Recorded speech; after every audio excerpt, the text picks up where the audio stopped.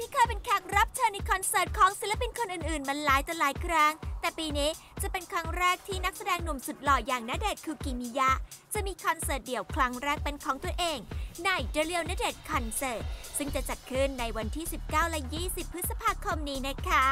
มีการแอบสปอยมาเบาๆค่ะ ว่าคอนเสิร์ตในครั้งนี้มีแขกรับเชิญพิเศษมาร่วมบนเวทีมากมายค่ะ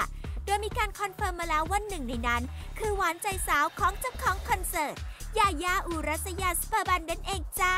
ดังนั้นวันนี้ก็เลยต้องขอถามถึงการตอบรับเป็นแกสของสาวยายากันสักนิดหนึ่ง ไปติดตามกันเลยค่ะ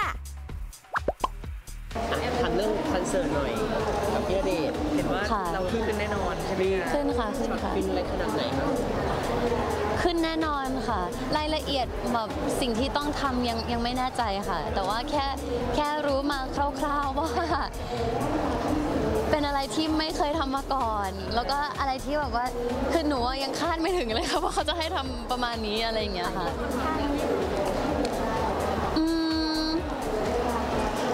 ไปดูกันค่ะ เอาไปดูกันค่ะ ก็ก็มีมีทุกรสแล้วกันนะคะใช่หลายคนไป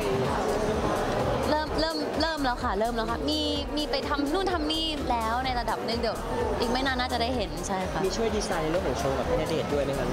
อืมคือจริงๆ เรื่องคอนเสิร์ตอะไรอย่างเงี้ยค่ะพี่ณเดชน์เคยคุยกับหนูมาหลายปีมาก ๆ แล้วว่าเขาอะอยากทำเขาอยาก อยากอยากมีโชว์ของตัวเอง ไม่ได้เพราะว่าเขาอยากจะแสดงแต่ว่าเขาแค่อยากให้ทุกคนได้ได้สนุกไปกับเขาอะไรอย่างเงี้ยค่ะแล้วเขาวางความฝันไว้เยอะมากแล้วยากมาก ก็ก็หวังว่าในในครั้งนี้เขาจะได้แบบว่าสำเร็จในบางฝันที่เขาวางไว้อะไรอย่างเงี้ยค่ะคนหลายหลายคนค่อนข้างคาดหวังกับคอนเสิร์ตนี้กับว่าที่จะเห็น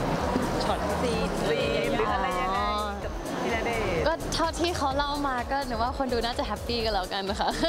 จะเป็นแบบคอนเสิร์ตคู่ไหมคะหลายคนเห็นว่าเหมือนว่าเหมือนมีข่าวว่ายาย่าน่าจะได้ขึ้นเยอะพอสมควรอืมไม่รู้อะ แต่แค่รู้ว่าเกส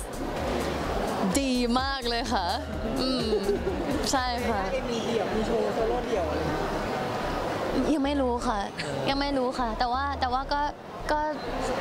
มีมีหลายเพลงอยู่ค่ะอือหือแต่สิ่งที่เขาให้เราทำเราโอเคเนาะไหวใช่ไหมคะ ไหวไหมคะน่าจะนะคะ เต็มที่แน่นอนค่ะ ก็เพื่อเพื่อพี่ณเดชน์แล้วกันใช่ค่ะ ให้เขาให้ทำอะไรก็ทำอะค่ะอือหือพรุ่งนี้พี่พัชมีแถลงข่าวเป็นทางการแล้วมีให้กำลังใจอะไรบ้างไหมคะ รู้ว่าเขาเครียดมากเลยค่ะ แล้วเขาแบบซ้อมคือพี่ณเดชน์ก็ทำงานหนักพอกับหนู แต่เขาก็หาเวลาหลังเลิกงาน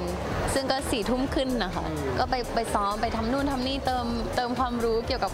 การเต้นการร้องเพลงการเล่นดนตรีอะไรอย่างเงี้ยค่ะ เขาตั้งใจมาก ๆ ก็พรุ่งนี้น่าจะน่าจะเต็มที่อืมมีบอกให้กำลังใจตลอดทุกวันเลยไหมคะก็บอกให้เขาสู้ๆแล้วก็ยังไงเขาก็ทำได้อยู่แล้วค่ะเออ